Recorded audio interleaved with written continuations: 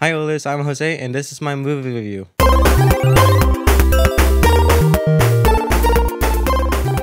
Have you seen the Sonic 3 movie trailer?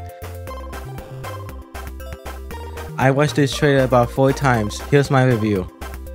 My opinion on the Sonic 3 trailer, I loved it.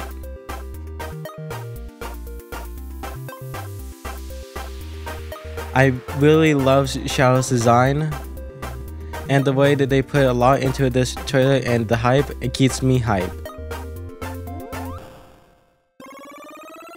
I think the reason why the Sonic fans are hyped for this movie instead of the Minecraft movie is because it shows how much the creators will deliver what the fans want. But will you give it a watch? Count me in. I, and I can't wait for this movie. Stay tuned for more movie reviews. I am Jose and this is my movie review.